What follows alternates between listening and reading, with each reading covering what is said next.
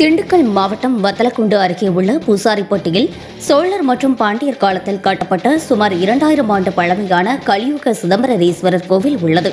தமிழகத்திலேயே இரண்டாவது பெரிய நந்தி உள்ளது. இக்கோவிலின் சிறப்புகளில் ஒன்றாகும்.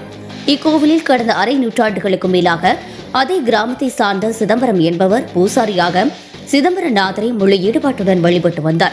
அவர் அனைத்து தர மக்களிடமும் பக்தியுடனும் சிரித்த முகத்துடனும் பழகி வந்ததால் அக்கிராமத்திற்கே பூசாரிப்பட்டி என்று பெயர் வந்தது.